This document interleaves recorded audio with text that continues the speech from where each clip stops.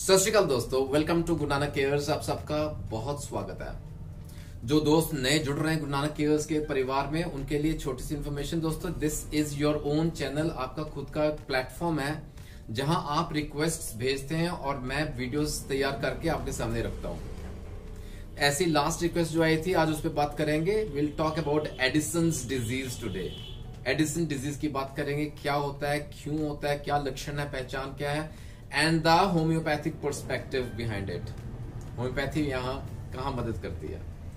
Last couple of जो request आई है ना, वो काफ़ी एक्चुअली क्रिटिकल डिसऑर्डर्स की बात की है। पॉलिसाइथीमिया की एक रिक्वेस्ट आई थी last video that is also difficult disease to manage ऐसी एडिसन डिज़ीज़ है। ये कुछ ना लाइफ स्टाइल डिसऑर्डर्स कह लें, जो हमारे बेसिक मेटाबॉलिक प्रोसेस पे अफेक्ट करते हैं। आइए बात करते हैं एडिसन डिज़ीज़ की, उसकी बेसिक जानकारी ज़रूर लेंगे, क्योंकि ये जो दिक्कतें हैं, ये जो बीमारियाँ हैं ना, इनकी बेसिक जानकारी होनी बहुत ज़रूरी है। This not there not ordinary diseases before you come to the treatment part and I assure you बहुत ही सरल भाषा में सिंपल टू अंडरस्टैंड भाषा में बात करेंगे। दोस्तों, हमारे बॉडी के अंदर ना कुछ ऐसी फ़ंक्शंस परफॉर्म करते हैं अलग अलग ऑर्गन्स राइट लेकिन उनको भी रेगुलेटिंग एक मैकेनिज्म रहता है जो उन पे प्रभाव डालता है कि किस समय वो प्रोसेस को फास्ट करना है, किस समय स्लो करना है। ऐसे कुछ केमिकल सीक्रेट होते हैं, कुछ ऐसे केमिकल मैसेंजर्स रहते हैं, जिन्हें हम हॉर्मोन्स का नाम देते हैं राइट हॉर्मोन्स जो हैं, वो रेगुलेट करते हैं हमारे बॉडी के वेरियस फ़ंक्शंस को। ठीक है? इन शॉर्ट बात करें, जो हमारे रीनल ग्लैंड है ना द किडनीज उनके ऊपर स्थित रहता है एक छोटा सा ग्लैंड जिसको बोलते हैं एड्रीनल अब नाम से ही है adrenal means just above the kidney बहुत स्मॉल एड्रीनल ग्लैंड रहते हैं। वो कुछ बहुत ही महत्वपूर्ण हार्मोन सिक्रेट करते हैं जो कि रेगुलेट करते हैं हमारी बॉडी के फ़ंक्शंस को।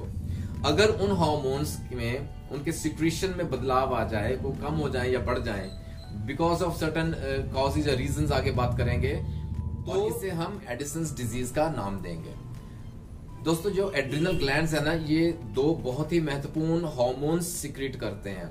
एक है कॉर्टिसोल दूसरा है एल्डोस्टेरॉन थोड़ी सी बेसिक जानकारी लेंगे बहुत सिंपल भाषा में, क्योंकि इसकी जानकारी ज़रूरी then will arrive our destination cortisol एक बहुत महत्वपूर्ण हार्मोन है secreted by the adrenal gland जो कॉर्टिसोल है हार्मोन उसका बहुत ही महत्वपूर्ण very important function is to help the body in the time of stress कैसे हमारी बॉडी एक्ट करेगी in the time of stress कैसे वो रिस्पॉन्ड करती है स्ट्रेस को?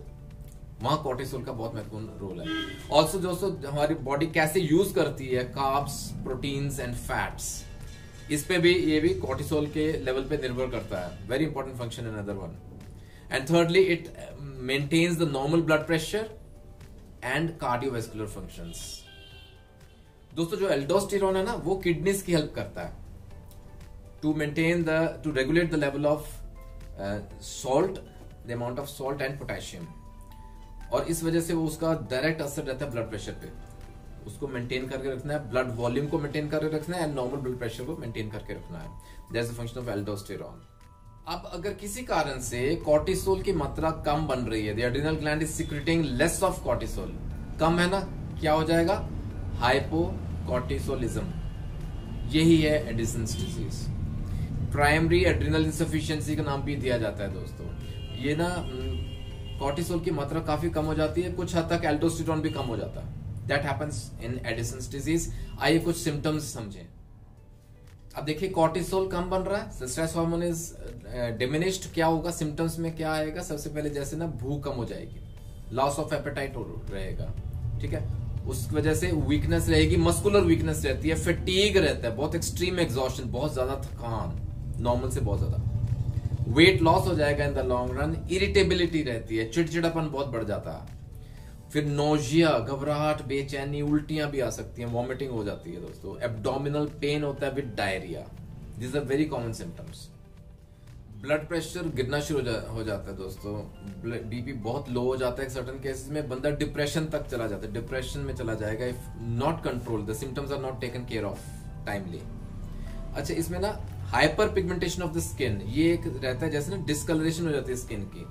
लेकिन ये जैसे हमने मिलाजमा की वीडियो में बात किया था, ये होता है on certain parts of the body which are not expose to the sun जो एक्सपोज नहीं है पार्ट्स वहाँ पे भी हाइपर पिगमेंटेशन हो जाती है डिस्कलरेशन हो जाता है स्किन का। अच्छा विटिलिगो या लिकोडमा के केसेस ये भी दिखते हैं दोस्तों, अगर एडिसन डिज़ीज़ अंदर है तो। आइए दोस्तों, कारण समझें क्यों होता है व्हाट आर द कॉजेज क्यों होता है Addison disease primary adrenal insufficiency नाम दिया गया ना mostly that is the reason उसमें भी ना सेवेंटी परसेंट कारण क्या रहता है that is auto immune disease खुद का ही इम्यून सिस्टम एड्रिनल ग्लैंड पे अटैक कर ले, समझो। उसको आइडेंटिफाई नहीं कर पाता। जिस वजह से ये सब सिम्टम्स आते हैं, ये दिक्कतें रहती हैं। अच्छा there are certain long lasting infection कई ऐसे इन्फेक्शन हैं जो लंबी चलती हैं। फॉर एग्ज़ाम्पल ट्यूबरकुलोसिस अगर टीबी की दिक्कत है, कोई एच का केस है उसमें अच्छा कई फंगल इन्फेक्शन रहती हैं जो कि क्रॉनिक हो जाती हैं, लंबी चलती हैं। अगर ये अनकंट्रोल्ड रहे, लंबी चल रही है लॉन्ग लास्टिंग रहती हैं दैट कैन अंदर be another cause of Addison disease ठीक है? अच्छा फिर जैसे मैंने कहा primary adrenal insufficiency is the main mostly that is यानी कि एड्रीनल ग्लैंड में ही कुछ नुक्स है। इसमें भी एक पॉसिबिलिटी हो सकती है कि एड्रीनल ग्लैंड जैसे ना प्रॉपरली डेवलप ही नहीं हुआ। ड्यूरिंग डेवलपमेंट ना वो प्रॉपरली बना ही नहीं है। सेकेंडली हो सकता है कि वो बन गया है एड्रीनल ग्लैंड इज़ देयर लेकिन वो कॉर्टिसोल बना नहीं रहा है। And third possibility is that कुछ ऐसी बीमारियाँ हैं जिस वजह से एड्रीनल ग्लैंड ना डैमेज हो गया डिस्ट्रक्ट हो गया खत्म हो गया। प्राइमरी एड्रिनल इनसफिशियंसी अच्छा ऐसे ना सेकेंडरी भी रहता है एड्रिनल इनसफिशियंट सेकेंडरी माने जो एड्रिनल ग्लैंड के साथ डायरेक्ट लिंक में नहीं है, लेकिन हाँ for example the pituitary gland the master gland जो एसीटीएच हार्मोन सिक्रीट करता है स्विच का काम करता है ऑन ऑफ़ एड्रिनल अपना कॉर्टिसोल रिलीज़ करेगा या नहीं करेगा pituitary has a control of that अगर वहाँ दिक्कत है दैट इज़ सेकेंडरी कह लें एड्रिनल इनसफिशियंसी ऐसी टर्शरी रहती है, टर्शरी एड्रिनल इंसफिशियंसी अगर दिक्कत है हाइपोथैलेमस में। अच्छा इसको डायग्नोज कैसे करें? देखिए दोस्तों फ़िज़िकल एक्सपीरियंस है एग्जामिनेशन है एंड केस टेकिंग है। लेकिन सर्टन ब्लड टेस्ट भी है, जैसे ना शुगर की मात्रा कम हो गई है ब्लड में। अगर सोडियम की मात्रा कम हो गई है पोटेशियम बढ़ सकता है। They are indication towards Addison disease फिर डब्ल्यू रहते हैं ना, जैसे ईओसिनोफिल्स हैं या लिम्फोसाइट्स हैं, उनकी मात्रा बढ़ जाएगी ब्लड में right then also metabolic acidosis blood की ना एसिडिटी बढ़ गई है बिकॉज़ एल्डोस्टीरोन की मात्रा कम हो गई other we know hormone that the adrenal gland makes दोस्तों विद दिस बेसिक इन्फॉर्मेशन थोड़ी अंडरस्टैंडिंग हो गई अब एडिसन डिज़ीज़ की. आइए बात करते हैं होम्योपैथी की. बहुत महत्वपूर्ण दवाएँ हैं जो यहाँ डिफ़िकल्ट सिम्टम्स को मैनेज करेंगे, हमें राहत दिलाएँगे। The very first and the best medicine is adrenaline इसको एड्रीनलम भी कहते हैं। एड्रीनलिन बेसिकली इसका मेन एक्शन रहता है on the sympathetic nerve endings जो सिंपथेटिक एंडिंग्स रहती है ना, उनको वो स्टिमुलेट करती है। जिस वजह से जो पेरिफेरल आर्टीरियोल्स है ना, वो कंस्ट्रिक्शन शुरू हो जाएगी, वो सिकुड़नी शुरू हो जाएगी और ultimately it will increase the blood pressure blood pressure बढ़ना शुरू हो जाएगा। दोस्तों डोजेज की बात करें you should be given ideally in low potencies six C H is available twelve भी है थर्टी भी है depending on the severity of the symptoms let you physician decide लेकिन adrenaline undoubtedly the one of the best medicine दूसरी महत्वपूर्ण दवा है iodum iodum we all know ये ग्लैंड्स पे एक्ट करती है स्पेशली एंडोक्राइन ग्लैंड्स और जहाँ कहीं जैसे ना इडीमा भी हो रहा है हिमरेजेस हैं and specially the nutritive disturbances because of disturbed hormones iodum 30 C is the ideal to begin with दोस्तों third very important medicine is natrum muriaticum nat mur nat mur को थर्ड नंबर पे ज़रूर लिया, लेकिन it is undoubtedly again one of the best medicine जहाँ कहीं endocrine system disturbed है हमारा, वहाँ नेट्रोम्यूर ज़रूर काम करेगी. फॉर एग्ज़ाम्पल डायबिटीज़ के पेशेंट्स में नेट्रोम्यूर का बहुत अच्छा रोल है an excellent role hyper thyroidism में नेटम्यूर हम देते हैं एडिसन डिज़ीज़ में भी देते हैं. Because of all this symptoms जो हमने बात की ना ग्रेट वियरीनेस एंड वीकनेस ये दो बहुत महत्वपूर्ण सिम्टम्स हैं। Underline cause is Addison disease nat mur will work wonders thirty C से स्टार्ट करें। यहाँ ना फॉस्फोरस की बात भी ज़रूर करेंगे। जहाँ डिस्ट्रक्टिव मेटाबॉलिज्म हो रहा है and the underline cause is Addison disease phosphorus thirty C अच्छा यहाँ ना ill effects of iodine that is another cause जहाँ नमक की मात्रा बहुत ज़्यादा यूज़ हो रही है एक्सेस यूज़ ऑफ़ सॉल्ट है पेशेंट के अंदर. Again phosphorus underlying Addison disease याद रखें.